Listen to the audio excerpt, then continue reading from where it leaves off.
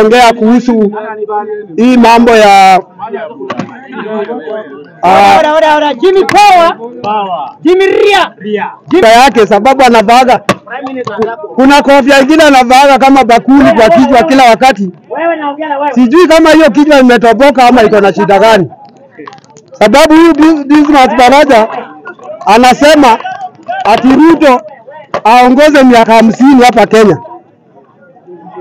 Dismas Barasa, kama unataka kuongozwa na William Ruto miaka hamsini, enda ukuongoze huko kwake Sugoi, umchungie kuku, umhesabie eh, mayai ya kuku, uchunge buzi zake, miaka hiyo hamsini unataka. Lakini sisi kama Wakenya tunasema tawe.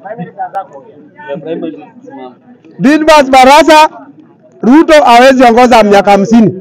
Kitu ya kwanza katiba imekataa.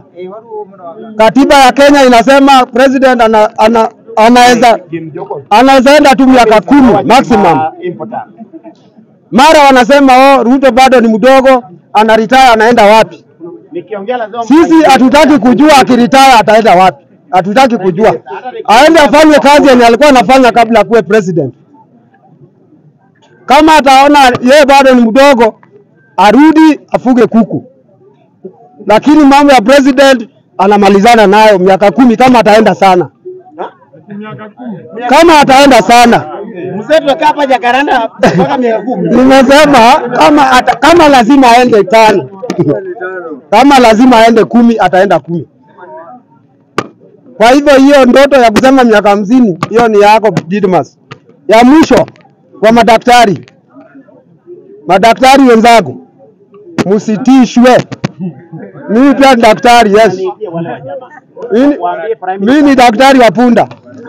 Nyinyi msitishwe na tusitishwe. Kome, koma kututisha, koma kabisa. Demo unatutisha, demo tutagoma.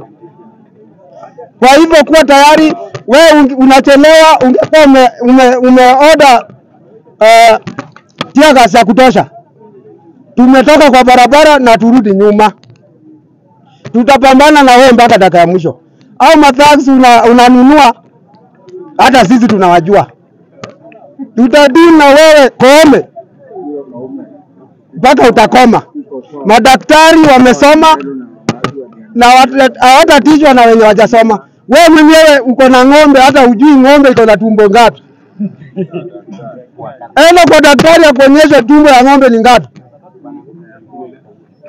kwa hivyo funda yako ikigonjeka unaniletea wewe, tutaheshimiana.